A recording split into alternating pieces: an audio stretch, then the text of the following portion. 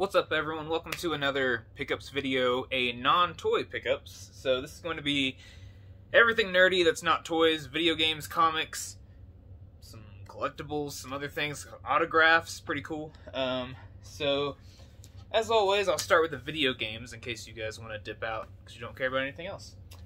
But uh, some of this I can't remember if I showed already, but a lot of these were Christmas presents. This was one Christmas present. Present this is one Christmas present. Um, this is Dark Pictures Anthology's Little Hope. Another Christmas present, World War Z. Another Christmas present, Resident Evil 2. My fiance got me all these for Christmas. She got me also Watch Dogs Legion on PS5. And she got me Death Stranding and she got me Borderlands 3, the Super Deluxe Edition, which comes with the season pass and all that stuff. It is a pretty cool steelbook too. She spoiled me this Christmas. I'm not gonna lie, she spoiled me.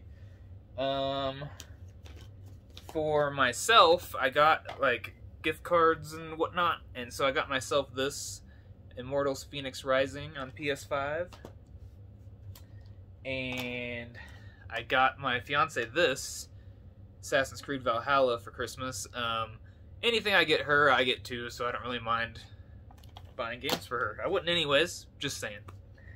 Um, also, with some birthday slash Christmas money, I got Mafia Definitive Edition. Um, look out for a Let's Play of this because I'm currently recording that. Um, trying to those are... Oh, yeah. Also, with that gift card with Mafia, I got Resident Evil 3. Those are the two games I grabbed. Um, I also had some coupons and stuff. Coupon? Coupon. Either way. So now I have Resident Evil 2 and 3, the remakes. Um, for my birthday, the missus got me a few games. She got me Cadence of Hyrule which I don't know if I'd actually like this game. Uh, let me know if you like this game. I'm not really into like rhythm games, and so I'm debating on just keeping this sealed just for the Zelda collection, but I don't know. She got me Pokemon Mystery Dungeon Rescue Team DX, which that's a remake of the uh, DS game. She got me Paper Mario and the Origami King, and Pikmin 3 Deluxe now, uh, oh, oh, and she got me Hyrule Warriors Age of Calamity. And now, uh, my my good friend Scott from uh, SEGAblocks, he used to be Whittle Brother. sounds funny when you actually say it. He used to be Whittle Brother on on well Facebook too, but on YouTube. But now he's SEGAblocks, so all one word. Go check him out. He does cool videos like this one. He's one of my OG friends on here. He gave a bunch of his friends a free copy of Demon's Souls, and I really, really appreciate it. I almost bought this game on launch, and then I was like, no, I'll hold out because the Souls games, they always kick my butt, but I still wanted it, and he reached out to me and he sent me that, and I really do appreciate it. Thank you so much. Uh, you're a great dude. Go check him out. I'm going to put his link in the description. Um, I picked up Bully for the game of the month. I got the Xbox One, Xbox 360 version. So, weird thing about this one is I ordered it on Amazon. I had a gift card. I actually referred my fiance on TaxAct, which was like for taxes, and they gave me a $20 gift card, so I used it to get this. Um, and after I'd already ordered it, like free one day shipping, um, I noticed that it was the PAL version. Like, just the, it was just a stock photo. Like, it wasn't an actual photo. And I was like, oh crap, is the Xbox region free? And so I start looking through the um, the, the uh, questions and stuff, you know, on Amazon, the reviews, and everyone was saying like, don't buy it, it doesn't work on your Xbox, this and that. And I was like, gosh dang it, I got the PAL version, I think, and like they don't realize it's the PAL version. They just think it doesn't work because it's a 360 game. That's not the case. But so I tried to cancel. It was too late. But when it came in the mail, it was the NT NTSC version, so we are good. Uh, I got Disney Land Adventures in there right now because I'm playing Bully. But yeah, cool to have that. I was gonna play the um, the PS4 version, but it's not the Scholarship Edition. It's just like a straight port of the PS2, and I like to play the definitive version of anything I'm playing. But anyways, um, I have a few games here that are from like limited run and I am 8-bit and stuff. So here is one limited run game, Darkwood, and they always come with these cool cards. So I'll show that. Uh, got the cool card. Actually has a manual and stuff. Um, survival horror without jump scares. So I'm guessing it's going to be a like survival horror, but more atmospheric horror. You know, like a Silent Hill maybe. So that's cool. We also have uh, Neverending Nightmares. I almost called it Ever Ending because I didn't realize the shadow was supposed to be an inn. But uh, this is a survival horror as well but it's based it's a psychological horror based on the developer's struggle with mental illness. So that sounds really cool. And it came with a card and stuff, and I like the art style. It looks really creepy. I hate being followed in games, and as you can see on the cover, he's getting followed for sure. Um, as always, when it comes to limited run games or any kind of limited I am 8-bit, uh, red art, any of those, I only get the ones that I think I'm going to play, or if I think they are if there's something I've already beaten, but like I love the game, so I want to get you know a physical copy. Like I have Costume Quest back there, but uh, we have Panzer Dragoon from Limited Run. Um, at the time, this was the only physical edition, so I grabbed it. But then they put out a PS4 one, so I'm gonna keep this one sealed and play the PS4 version because I like those trophies. Uh, this next one is from I think it's I want to say I got this from I am 8-bit, but I can't remember exactly. Um, it's Crosscode, which is an RPG, old school graphics, and it also came with uh, cool on the inside. It's got a reversible cover if you want to see that. Nice reversible cover. Um, it also came with a cool steel book. so yeah, that's cool. Cuckoo, cuckoo. Um, oh, here's the card for Panzer Dragoon Remake. Limited run. I'll probably just stick that in one of the other limited run cases. That's what I always do. Shove them in the case. Um, from limited run, we have Neon City Riders. This is supposed to be a, I want to say like a Metroidvania it's an action adventure inspired in 80s sci-fi scene. So I love 80s. I love all the 80s colors and stuff. So that's going to be fun to dive into. And now we have the game I'm super excited to play. Um, apparently this game is physical on Amazon. I thought this was going to be the only physical way to get it, but it's this kind of a special edition. So it's the Pathless. Um, I'm sure you guys might have heard about it, but got it from I Am 8-Bit. Came with some cool stuff here. It has a poster and some postcards. And I'm weird and I like to keep my game receipts in the case as well. But yeah, the Pathless on PS5.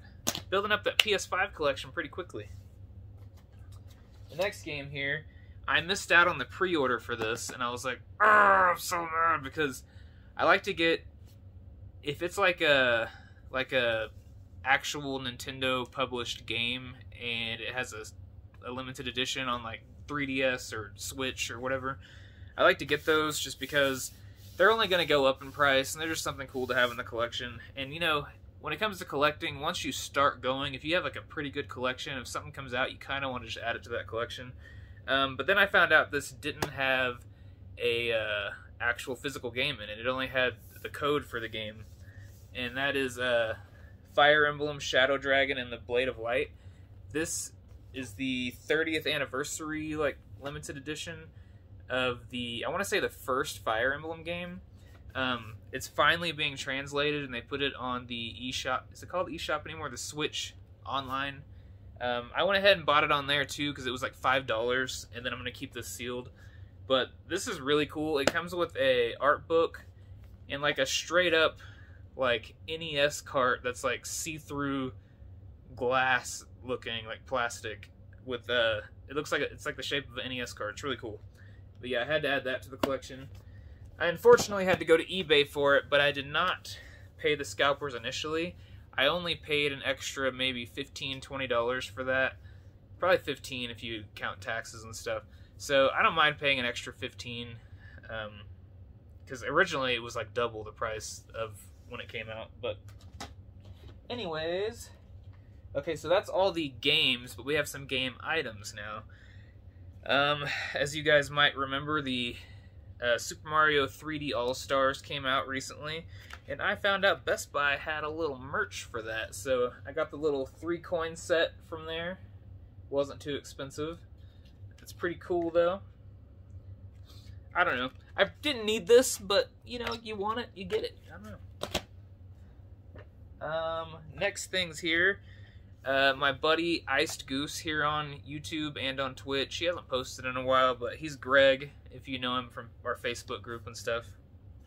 Um, he got me a Christmas gift and a birthday gift. I can't remember which one of these is which. But this first one's really cool. This is something I've actually wanted for a really long time, and I just never pulled the trigger on it. But, so, Pokemon, you got the Pikachu tail. This is the eight gym badges from the first game. Is that cool or what? That is really cool. Yeah, I've I've been wanting this for a long time. Not maybe not that exact one, but like the badges. And this next thing is really cool. This is going to go on display in the man cave or maybe the office. It is a Deku shield from The Legend of Zelda Ocarina of Time and possibly Majora's Mask. I can't remember. But look at that. It's like a homemade, legit wooden Deku shield or some people might call it Deku, but I say Deku. But but yeah, pretty cool, cool, cool, cool. Okay, so the rest of this stuff is not game related. So if you are leaving now because this stuff isn't game related, I love you. Be sure to like, comment, and subscribe. Uh, everyone else, okay, the first thing here is Elf. Uh, this was on sale. I got it around Christmas, and it's one of my favorite Christmas movies, so I had to add that to the collection. Um, you guys, you guys know those Facebook ads that pop up all the time? They just they know what you like. They listen to you. Well, they knew I liked uh, Jingle All the Way from from uh, you know the Christmas movie Jingle All the Way with Arnold Schwarzenegger. So this popped up. It's a little pin of Turbo Man. Look at that. Oh gosh. Turbo Man. But uh, it's really small, but that's okay because all I had to pay was shipping. It was like free pin, you just pay shipping. So I paid like three bucks for this little pin. But it's cool. It's uh it's from only 90s kids know, I think, dot com or something like that. They have a lot of cool pins, 90s pins. But yeah, love it. Uh, the next thing here, if you don't know me, I'm kind of weirdly obsessed with uh, Disneyland and like theme parks in general. Mostly Disneyland, Disney World, and Universal Studios. But uh, they are getting rid of the Splash Mountain. Or not getting rid of it. They're renaming it because you know that's based on like a racist movie and stuff. But anyways, they're changing it to Princess and the Frog. So I went on eBay and I got the uh, the whole set of the pennies. Uh, there's no way you can see that, but I got a whole set of the you know little push pennies from Disneyland. Why. It's just one of those purchases you just do, and you're like, why did I do that? I don't know. Uh, we have a couple autographs here. The first one is Eddie Munster. Is that cool or what? I'm obsessed with sitcoms, by the way, guys. Like, I love sitcoms, especially older ones. So it's cool to have Eddie Munster's autograph from the Munsters. Fun fact, I actually uh, saw the Munsters house at Universal Studios do doing their uh, backlot tour. Pretty cool. There's also Psycho and like that Housewives show. I forgot what it's called. Um, I also have this autograph. If you guys seen Hocus Pocus, the uh, 90s Halloween movie, I have the bus driver, his autograph. Uh, it says Corey Bubble Bubble. I don't know if you guys remember him. He uh, he says, What are some fine ladies such as yourself doing out? Or something like that. Yeah. But yeah, that's cool. Got those two autographs. Now, my last two things here are comic books. Um, So it is the 25th anniversary of my favorite show of all time, Beast Wars. And with that, they're doing a comic series, IDW. So I have issue one here, two two of the four covers. We have right there Optimus and Megatron. And then we have I don't know who one of these characters is. I'm gonna assume maybe Wolfang. I don't know, but they're done in the uh, Transformers animated uh, style. But yeah, those are cool. Um, I think that's it. Um, looking around, I'm pretty sure that is all of my pickups. So be sure to like, comment, and subscribe, and let me know if you like any of this stuff or if you have any questions about it. See you later.